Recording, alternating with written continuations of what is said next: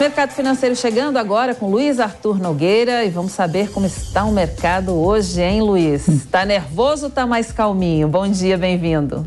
Ah, tá calminho, Cláudio Abarto. Bom dia a você, bom dia a todos. Muito obrigado a você pelo carinho da sua audiência. Mercado financeiro sempre com as principais informações da economia, do mundo das finanças. Um dia positivo no Brasil e no exterior, porque vieram dados bons de inflação nos Estados Unidos e também na Europa. Daqui a pouquinho eu trago essas informações detalhadas para vocês, a repercussão aqui na nossa Bolsa de Valores e o que isso impacta o nosso bolso, os nossos investimentos. Mas eu queria abrir o programa de hoje com uma informação que interessa a dezenas de milhões de brasileiros que recebem o principal programa social do governo, que voltou a se chamar Bolsa Família. Nós vamos ao vivo com o repórter João Vitor Rocha, que vai explicar para a gente se mudou apenas o nome de Auxílio Brasil para Bolsa Família ou se mudou alguma regra do programa. Bom dia, João, seja bem-vindo.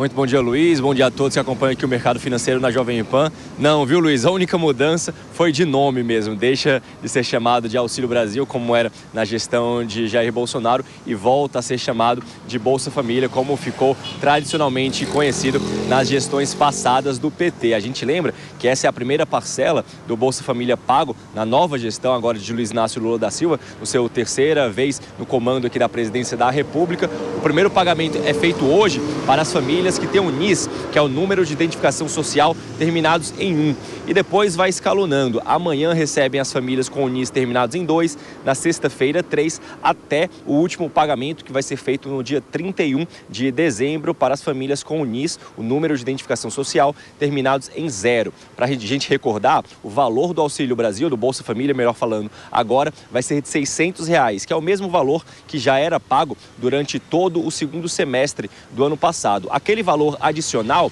de 150 reais para as famílias com filhos até 6 anos de idade não vai ser pago ainda. A expectativa do governo federal é que esse valor comece a ser pago só em fevereiro ou no mais tardar em março, quando o governo conseguir fazer a atualização do CAD único, cadastro único, que é aquele sistema do governo em que as pessoas se cadastram para receber os benefícios sociais. Então a expectativa desse segundo passo é apenas para o próximo mês ou em março. Para a gente lembrar, esse valor de 600 reais era uma promessa de Luiz Inácio Lula da Silva durante a campanha e só foi possível após a aprovação da PEC de transição, que liberou aqueles 165 bilhões de reais para que Lula pudesse pagar o Bolsa Família fora fora do teto de gastos. Segundo o governo federal, agora em janeiro, nessa primeira parcela, serão 22 milhões de famílias beneficiadas e uma injeção na economia de 13,3 bilhões de reais, viu, Luiz? Obrigado, João Vitor Rocha, ao vivo de São Paulo, com informações importantes sobre o Bolsa Família, programa social que injeta bilhões e bilhões de reais na economia, em particular na baixa renda. Bom, voltando aos assuntos do mercado financeiro, no ano passado o Brasil teve recorde de captações, principalmente na renda fixa. Por quê? Porque o Brasil é o paraíso dos juros altos. Está fácil ganhar dinheiro na renda fixa. Acompanhe a reportagem de Soraya Lawandi. O mercado de capitais brasileiro enfrentou em 2022 uma série de desafios, como juros mais altos, a volatilidade do período eleitoral e questões geopolíticas em todo o mundo. Com isso, de acordo com o um relatório da associação que representa as instituições que atuam no segmento, as empresas captaram 544 bilhões de reais, um recuo de 10,9% em relação a 2021. Durante a entrevista à imprensa nesta terça-feira, o vice-presidente da Ambima, José Eduardo Lalone, avaliou que o resultado no acumulado do ano, em um ambiente tão desafiador, mostra a maturidade do setor. Então, acho que a gente termina o ano é, olhando para trás e vendo que, apesar de todos esses, esses fatores desafiadores, né, o mercado de renda fixa se comportou é, bastante bem, né, mostrando a, a força e a maturidade que que o mercado doméstico se é, é, já, já alcançou. O grande destaque foi a evolução da renda fixa, que teve um crescimento de 6,6%, em ofertas que somaram 457 bilhões de reais.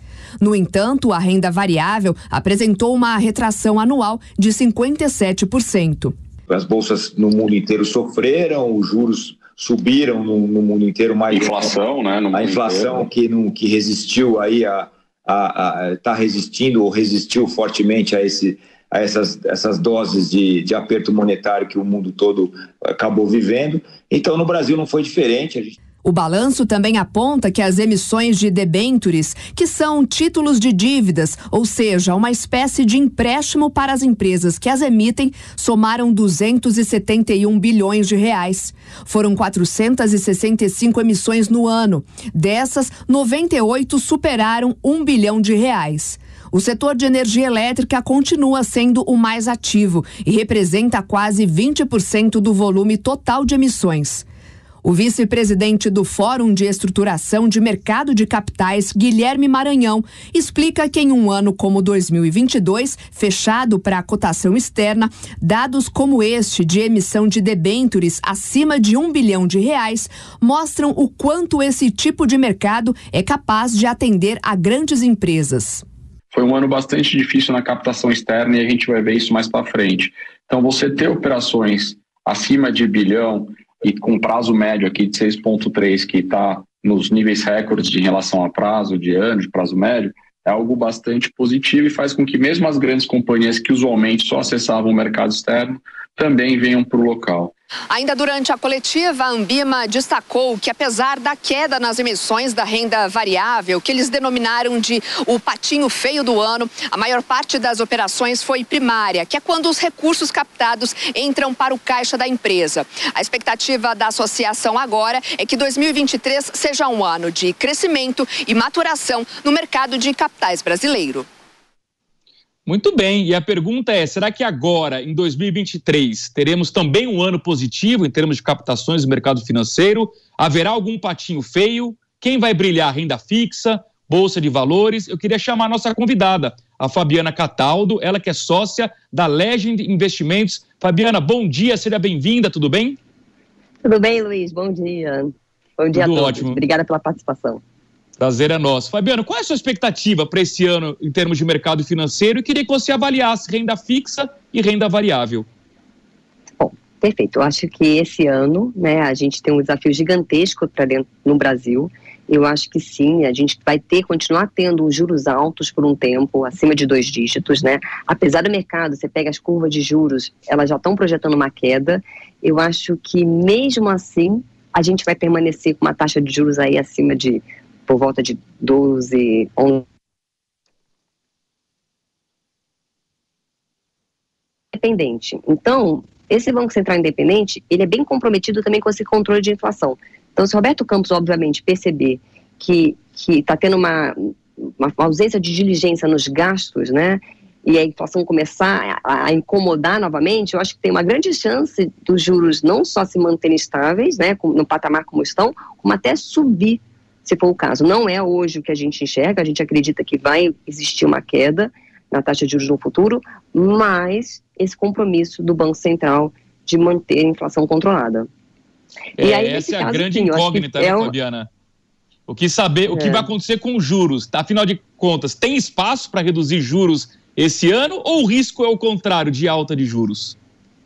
Não, espaço tem, mas também ao mesmo tempo tem que ter o controle. Então vai existir esse controle para ver se realmente é possível reduzir juros. Se for possível, vai ter uma redução. Mas o que acontece hoje, mesmo com o carrego do CDI atual e como ele deve se comportar no decorrer de 2023, o investidor ele consegue em pós-fixado conseguir juro taxas de 7% acima da inflação, né? Ou então ele optar por investimentos com risco soberano ganhando 6 ou mais do que 6% também acima de inflação. Então a renda fixa ela permanece bem forte em 2023. É o que eu sempre falo, tá moleza ganhar dinheiro na renda fixa. Eu já volto com a Fabiana. Eu queria aproveitar para a gente checar o mercado financeiro, uma abertura positiva hoje, começando com o índice Bovespa, com alta neste momento. Repare só, a curva, para quem nos acompanha por imagem, uma alta de 1,34% aos 112.928 pontos, num dia positivo também no mundo lá fora. O próximo gráfico a gente vai ver as principais bolsas europeias em alta, Frankfurt 0,11%, Londres é exceção, mas pequena queda, 0,03%, Paris subindo 0,33% e Madrid 0,79%. Os números que vocês observam das bolsas americanas são de ontem, porque o pregão vai abrir daqui a pouquinho, às 11h30, pelo horário de Brasília. E a tendência é de uma leve alta também nas bolsas americanas. Já na Ásia, Xangai fechou no 0 a 0, Bolsa de Tóquio subiu 2,5% e Hong Kong subiu 0,47%. E há uma explicação para essa forte alta da Bolsa de Tóquio, porque o Banco Central japonês não subiu juros. Havia uma possibilidade de sinalizar uma alta de juros, mas não foi o que aconteceu, isso animou a Bolsa de Tóquio. E por, por fim, no último gráfico, a gente vai ver, é normal quando a Ibovespa, o índice Ibovespa sobe aqui no Brasil, o dólar normalmente cai, é o que acontece hoje, uma queda importante de 0,67%, o dólar vendido R$ 5,07, o euro praticamente estável, 5,51, Bitcoin subindo 0,70% aos 21 mil 328 dólares. Como eu disse na abertura do programa, notícias positivas de inflação. Na Europa, a inflação arrefeceu, ela estava num patamar de 10,1%. A inflação em euro para o consumidor no mês de novembro caiu para 9,2% em dezembro. Claro que ainda é uma inflação muito alta, claro que ainda vai exigir do Banco Central Europeu a alta de juros, mas foi um alívio, passando de 10,1% para 9,2%. E o outro alívio do dia veio dos Estados Unidos, inflação ao produtor saiu de um patamar de 7,3% em novembro para 6,2% em dezembro. Notícias que, portanto, animaram o mercado financeiro. Eu queria chamar de volta a Fabiana Cataldo, que é sócia da Legend Investimentos. Fabiana, como é que você está enxergando esse cenário de juros lá fora e de que forma isso pode, de fato, animar as bolsas de valores, inclusive a bolsa brasileira, que ainda está muito refém dos ruídos políticos do governo Lula e uma enorme expectativa sobre qual será a política fiscal que vai ser anunciada por Fernando Haddad. Perfeito, Luiz. Com relação à Bolsa Internacional, né, o mercado, na verdade, é o mercado de juros internacional, a gente teve esse movimento em todos os mercados, né, de uma taxa de juros altas, por conta, obviamente, de uma alta inflação, que você colocou bem, sim, a inflação ela está já demonstrando uma tendência de queda, ela já está começando a cair, mas ainda muito alta. Né? Então, assim, isso vai permitir provavelmente que os Estados Unidos ele diminua, né? ele já vem diminuindo, o Fed já vem diminuindo um pouco o ritmo do aumento da taxa de juros lá fora, né? ele vinha com 75 bips, reduziu para meio, quem sabe agora, a partir de fevereiro, ele comece já num, num pace aí de 25 bips. Isso é positivo sempre para a bolsa, porque da mesma forma que você colocou quando bolsa sobe, né, o câmbio também, o inverso, o, o que acontece com juros e, e, renda variável nos países também é muito parecido. Então, obviamente, com um cenário de taxa de juros muito alta, é mais difícil o investidor olhar para outros investimentos, especialmente bolsa de valores, por conta de todo o risco envolvido. Então, quando você começa a ter uma tendência também de queda de juros, normal também ter um direcionamento de fluxo também para esse mercado de bolsa de valores que vai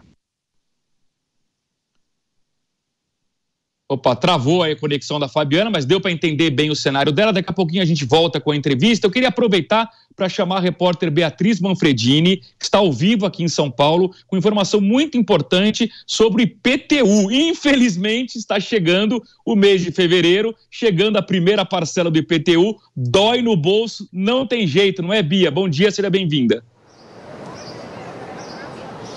Olha, como dói, viu, Luiz? Tem que se preparar para esse momento. Então, por isso que é importante já começar a deixar tudo direitinho, aquele dinheiro separado, desde já, se for possível, né? Bom dia para você também, para todos que nos acompanham. O que, que já dá para saber sobre o IPTU aqui da cidade de São Paulo? Já é possível consultar o valor que será pago então pelos moradores agora em 2023 e já é possível inclusive pagar esse valor. Vamos por partes, né? Então, como que eu faço para consultar qual que é o valor do meu IPTU 2023? Precisa acessar o site, que é esse aqui, olha, prefeitura.sp.gov.br barra IPTU. Aí ali coloca o número do, do cadastro do imóvel, o famoso SQL, né? Setor, quadra e lote. O número fica ali no cantinho do boleto do IPTU. Coloca esse número ali no site e aí verifica então qual o valor que é necessário pagar em 2023. Tem duas maneiras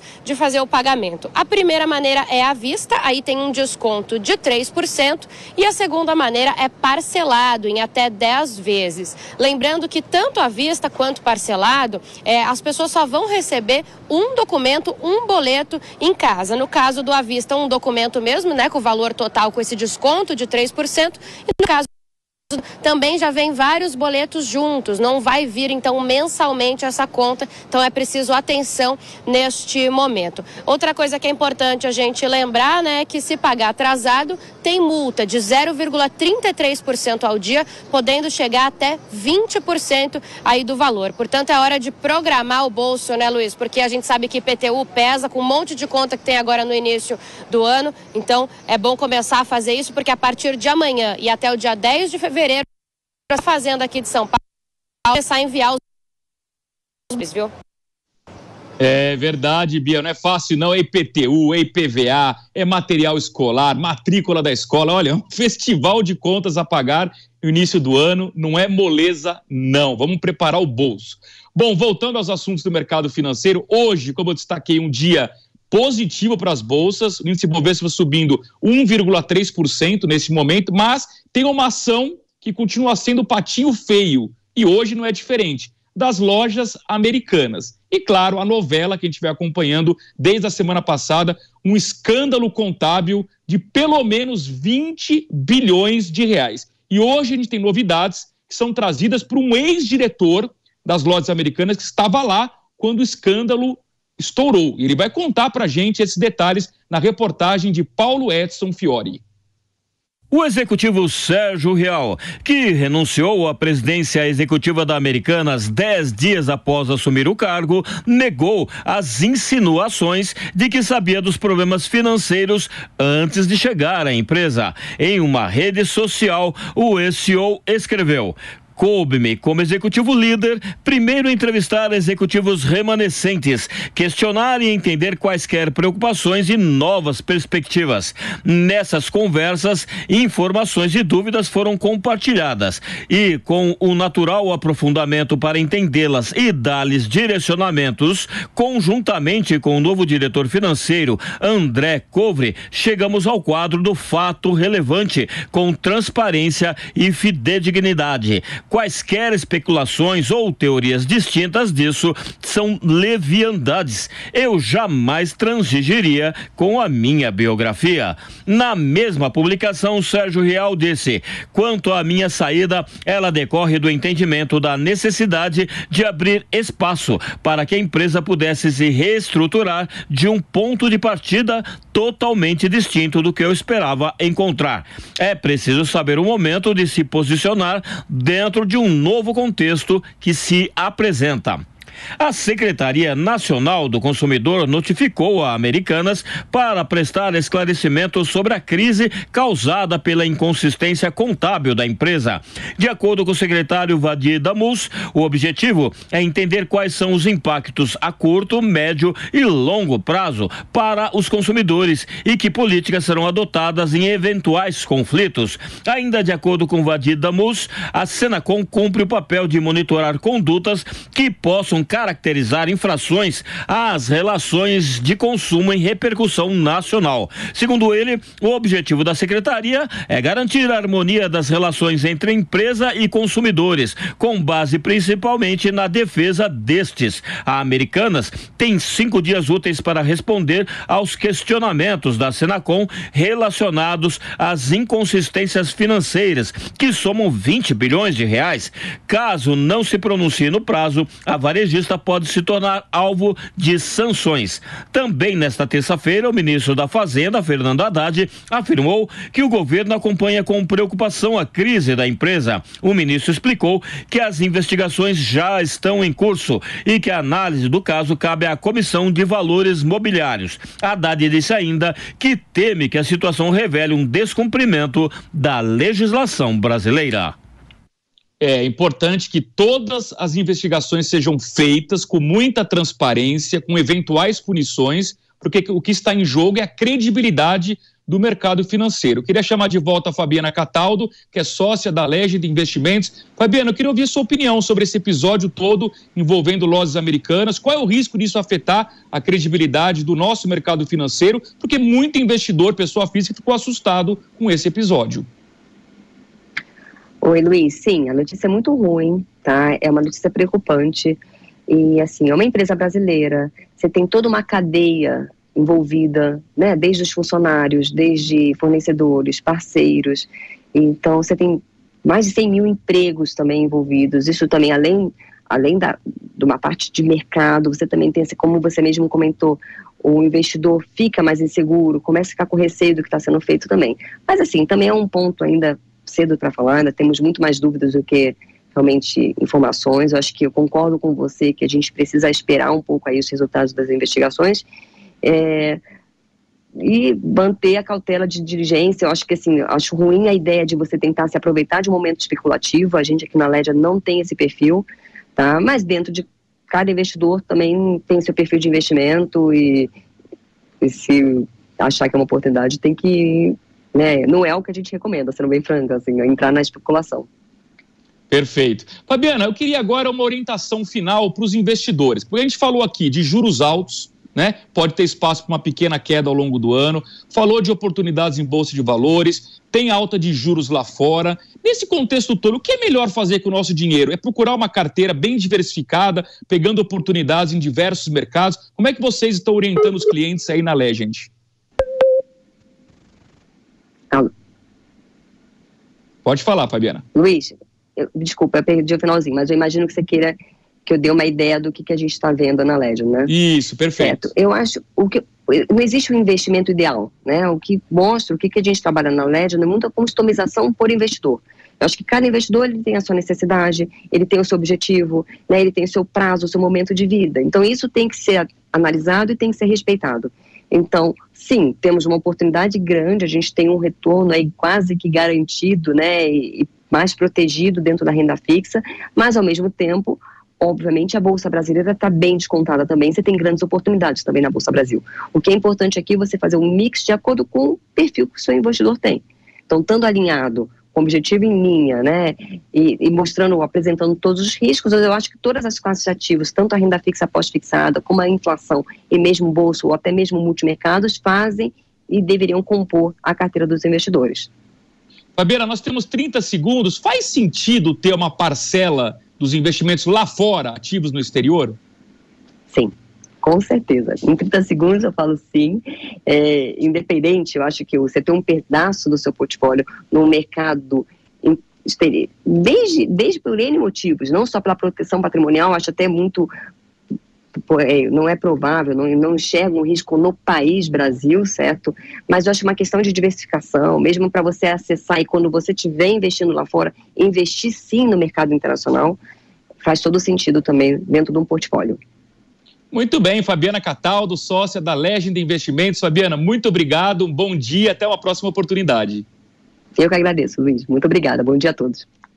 E nós vamos encerrando o programa Mercado Financeiro, lembrando que hoje Bolsa de Valores São Paulo em alta de 1,3% e faltou mencionar que as ações das lojas americanas estão caindo 3,2%. É o patinho feio atual do nosso mercado financeiro. A gente volta amanhã ao vivo às 11:15 com mais informações da economia e do mundo das finanças. Eu devolvo para você, Cláudia Bartel.